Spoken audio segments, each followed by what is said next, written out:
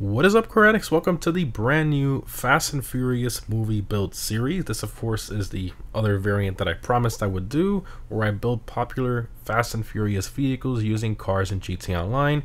Now, I do want to clarify this is separate from the series where I do the movie slash TV show cars, so this will be in a separate playlist. As always, remember to let me know down below in the comments what Fast and Furious car you want to see me customize next, and I'll display the most liked vehicle suggestion comment in the next build video. So to kick off this series, I figured we would use the newly added Classique Broadway to build the 1950 Chevy Fleetline from The Fate of the Furious, which is the eighth film. The car was of course used by Dom in the Cuba race at the beginning of the movie, not to mention, the Broadway is based on the 1946 Oldsmobile 66 Club sedan two-door, mixed with the 1946 Chevy Fleetline as well. So a bit of an older model compared to the one in the film, but the general proportions are the same, especially when we remove the front fenders. But anyways, let's go ahead and start the build for the 1950 Chevy Fleetline from the Fate of the Furious. Alright, Chevy Fleetline, Fast and Furious 8 build. Alright, so as usual for these builds, uh, all the movie builds and stuff like that, I always like to do, you know, max armor and performance mods. So we're going to continue that trend with the Fast and Furious series. So full armor, uh, bodywork.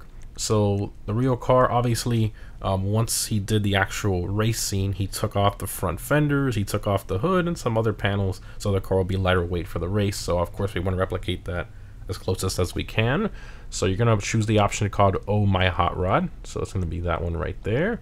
And it removes the, the front fenders, even this piece by the door, um, which very, very cool. And it also removes the grill. Um, the headlights, I mean, a lot of it is just gone. So perfect. That's exactly what we want there. Um, we're to max out the brakes. Bumpers, you want to choose the bumper remove option rear bumpers. Now the real car did have the rear bumper removed. Um, however, there's no option for that here as you can see. So I think your best option is to just go with a clean um, or the cleanest bumper look possible. And I think out of all of these, it's probably going to be the stock. So we'll just keep that there. Um, engine will max out. Exhaust. Now, uh, the real car did not have rear exhaust tips. The, the, the exhaust was kind of like cut off early right behind the mufflers. So you really couldn't see the exhaust tips and there's no option here to remove them um, or you know cut them off earlier. So again same situation with the rear bumper. I think your best bet is to put the cleanest looking one and that's honestly between the stock or the wide chrome tips. Um, honestly i'm gonna put the stock. I think that will be a bit better because it looks you know it's got the round um, sort of look to it like the tailpipes so i think i think we'll do that. Keep it stock there fenders, you're going to keep this stock. These are just fender covers. Real car did not have that. Okay, so hood. Obviously, the real car had the hood removed, um, but there's no hood remove option except for the ones that have the blowers you can see, but that, that just looks ridiculous. I, I don't think it's worth doing that.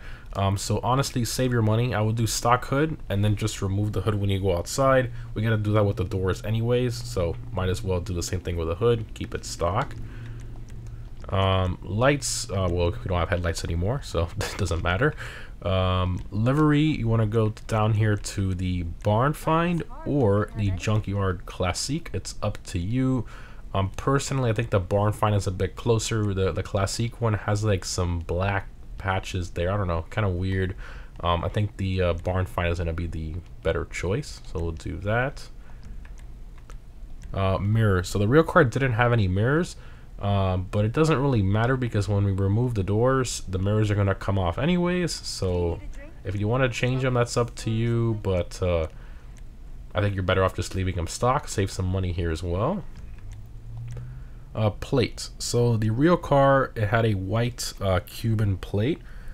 And of course, it was like the white background. So I think definitely one of the white plates is going to be your best option here. Um, now, in terms of the text, it was P016GA1. Now, obviously, Rockstar still doesn't have their website up at the time of this recording to do custom plates, so I, I can't recreate that.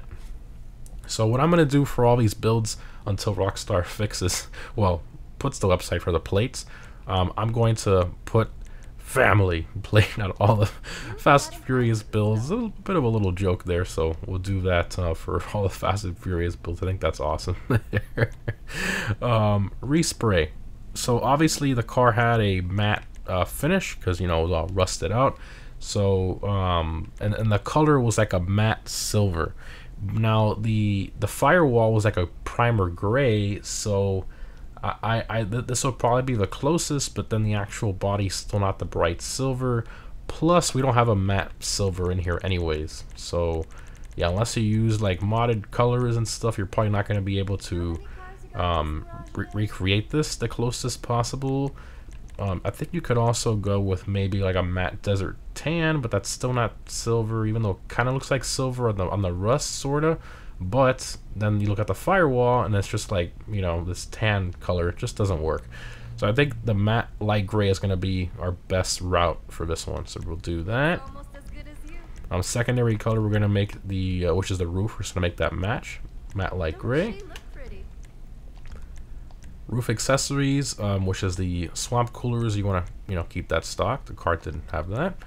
Suspension. Now, if we look at the real photo of the car here, you can see the back wheel, how kind of close it is to the rear fender. So I, I think um, we're to probably do that as best we can. I think we should probably wait till we put custom wheels, but um, I think lowered suspensions or street. I think street's probably to be the best. I don't want to lower it too much either because now the front's too low. It's not it's not identical. The uh, the real car the fender was a bit um well I guess it's more of a quarter panel. The quarter panel was a bit lower. Uh, here it's a bit um, more rounded, so you really can't gauge yourself by that either. Um, I think, if I'm being honest here, the car did sit pretty high. Either street or lowered. I wouldn't go any lower than that. Um, I guess we'll go with street. Transmission. Now the real car did have a turbo, so we'll put that on there. Why not? Visors, um, you know, if you want to put one of these, but that's not part of the build, so keep that stock. Wheels. Alright, here we go. So you want to go to muscle, stock, and then you want to put on the wheels called Kracka. These, these are definitely the closest. Now the real wheels, they were like silver with rust, just like the car. Um, and we don't we don't have you know a silver or rusty color you can put on the wheel. So I think um, a bit of like a, a happy medium you can kind of do here is to go with go all the way over here it's gonna be the desert tan on the wheels and honestly i think it kind of like has that silverish sort of like um, uh, look to it with the rust. I don't know it, it looks it looks kind of like a silver wheel that's kind of changing color from aging or something from far away. I think it actually looks pretty decent. I think that's gonna be our best bet because alloy is definitely out of the question. Alloy just looks wrong. Chrome is way too bright. That doesn't work either. So i think the um the, the tan is going to be the best bet here with Desert Tan. So we'll do that. Windows, the card did not have any tints, so we don't want to keep that stock there. And that's all the options. So we're not done yet. Now we got to go outside and um, pull off the panels, but almost there. It is unfortunate, though, you can't have it sitting in your garage the way it should be, but... Well, that family plate is hilarious. I love that. Alright, Vehicle doors. You want to do, let's do the hood first. Do you just want to get some speed? Then the hood will just fly off. Boom. Didn't even put a scratch on the car. It's perfect. And then you want to do the doors. So we'll do front left. You can use another car or whatever you have around you to do this. Boom. Doors off. And then front right. Do the same thing. Oh, without hitting a car. Oh, the hitbox is still the front bumper. That's funny. And, oh. Boom. There we go. Nice and easy. So that's how you do it. I mean, it's pretty much done now. Look at that. That's so sick. I love it. I mean, you, you can easily tell this is this is based on the one from the Fast and Furious movie. I love it. Very, very cool. Here's first person view. That's sick. that is awesome. I love that. Alright, let's floor it here. Now this car isn't really all that fast. Um, it's more like a cruiser, but it is pretty cool to do the build with. Handling is, um, as you would expect, very uh, boat-like, if you will.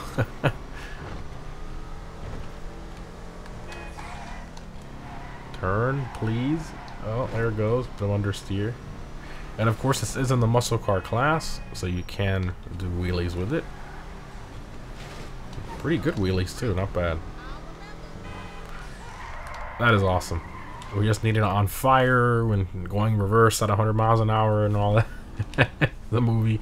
Now, from from what I read, the the car actually had like a tractor transmission or something, and theoretically, yes, it could actually go over 100 miles an hour in reverse. So it wasn't just something that was, you know, another Fast and Furious um, unrealistic thing. It was actually possible. So, um, yeah. First person here. Let's see the details. This engine bay is super detailed, so really happy with it. It's nice, it's nice to kind of show it off there with this build. The Firewall there in the gray.